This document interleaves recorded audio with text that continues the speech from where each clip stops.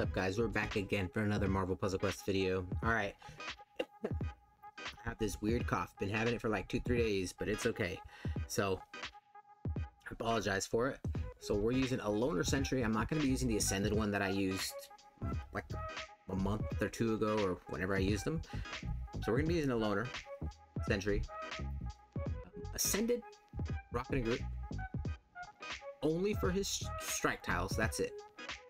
I get it. He's he's he's a menace on his own, but X23 weapon hex, 450, 72,645 health. Strongest colors: red, then green, then yellow.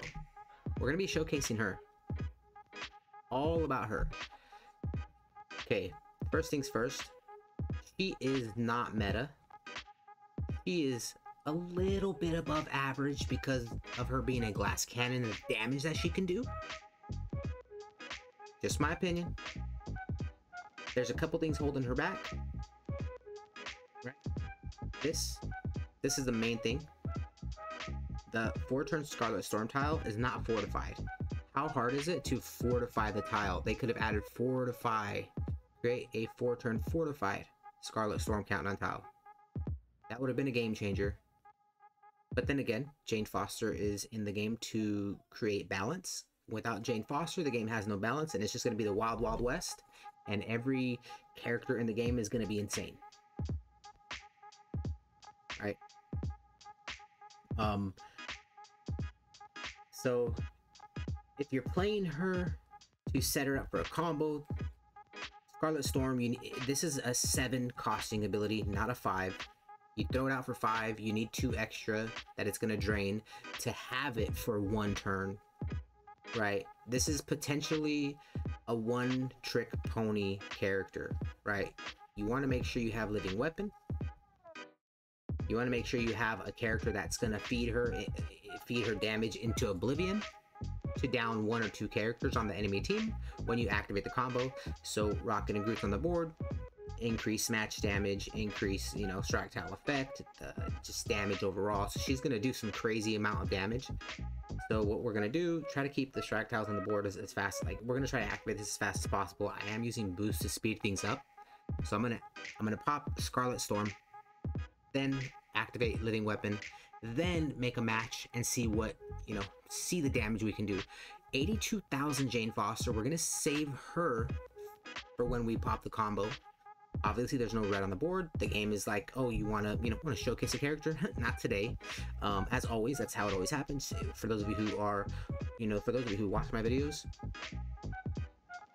it, you know, tell me if I'm lying when I when I do this, right? Make make a, make a video and boom, the tiles are not there. But uh, Shang-Chi, we'll get rid of him, right? 71. Actually, you know what? No, we're gonna keep them too because I want to see what we can do. We're gonna we're gonna um we're gonna set this combo up. Right, so her red is essentially a 7 AP costing ability for basically one turn unless you get lucky to match more red every turn. And mind you, this is an ascended Rocket and Groot. So his strike's gonna be a little bit more stronger, a little bit more powerful. Um, so yeah, what's holding her back? Not fortified. It's essentially a seven uh, AP costing ability. Um, this is splash damage. They should have given this. They should have made this ability five AP. Um, this one's good, but she would have been top tier. She would have been meta if this was straight up all true heal. And it wouldn't have been a problem at all. Just true heal. Simple as that. Um, true heal your teammates and not herself at all. Um, whenever a friendly projectile leaves the board, X23 heals for, you know, the heals for health. This is true heal, her passive. Instead of friendly, it should have said when a projectile leaves the board, then, you know. But yeah, that's that's that's that's, that's a couple things holding her back, you know. So we we need red. We don't have it. We got green. Um, we're gonna let Rocket and Groot get damaged out to him. We got Hexagon, so we could let the uh, we could let our teammates tank while we, assuming he doesn't get downed. If Rocket and Groot gets down, that's fine. She could still 2v1. Okay, here we go. Red. We got seven. This is one trick pony. We need at least two strike tiles on the board. Minimum two. Or even one. Right? Just to get the increased. So, one, two, three. We got him down here. That's fine. There's no way we lose. Okay, here we go. Boom. We're not even gonna, we're not even gonna need to, you know, offer up the two red AP. Now, let's see. Scarlet Storm Tile on the board. X23 deals 110% increased damage. Damage overall, match damage, passive damage, active damage, right? All damage. It doesn't specify to which type. Now, the second part, she gains 90% increased effect from strike tiles. We got one, two, three, four from what I see right now. Unless I move that. Yeah, one, two, three, four. Okay. Um, at the start of her turn, drain two red AP to create one strength 481 strike tile. That's another thing holding her back. Why is the strike tile only 481? It should have been at least a 1200. You know, strength strike tile minimum to see some kind of, you know, well, what's what are, what are what are the words to even use for this? To to see some kind of damage output when you don't have the Scarlet Storm tile on the board, right? That 1,200 or 1,000 strength strike tile could have made up for something, you know? But this is level 5. One strength 481. Even if it was five, five um, strength 100 strike tiles, that would have been better than one strength 41. This character is mid at best. This character is the glass cannon, which makes her above average, which is, you know, weird to say that, but it's true.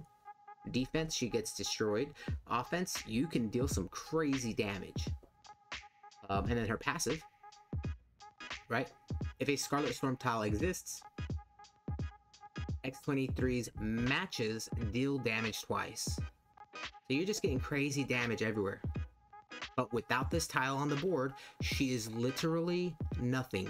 She is essentially a one star character with crazy health. That is pretty much this character. That's pretty much what this character is. Without this Scarlet Storm tile, the one thing that they messed up on, I don't want to say they messed up well, the one thing that they didn't do, what which is what they should have done, um, fortify the tile. That's it. Fortify. Create a four turn fortified Scarlet Storm tile. Then the character would have been something. Right? So we got the tile out. Now, this is not going to deal... I, I, like... I don't want to activate that just yet. I want to see what the match damage is. Alright? So we're going to match red. Thank God we have it right here. Okay, he's downed. It dealt so her match damage dealt a little bit above it. The first the first hit of that dealt 40,000, 41,000. So double that. 82. Let's just say she did 83,000 match damage to Shang-Chi. And then another 80,000 or whatever doubled to Jane Foster. Hence why she's a glass cannon, and hence why she needs that tile fortified and it needs to be in her own kit. Her own abilities need to say that. Obviously, with supports heading towards PvP, which I thought they were going to head towards PvP this season, they didn't. It is what it is. Whatever. Um, there's a lot of supports that say fortify a friendly special tile, which which is going to help. But it would help if it or if she already had the fortification text in that red ability, the green ability, or whatever. But Without that tile on the board, she is a one star with crazy amounts of health. That's it. But uh, yeah, that was a character breakdown. I hope I broke it down as best as possible for you guys. Um, I do have quite a, a bit more videos lined up for her. And as always, let me know what you guys think. Catch you guys in the next one.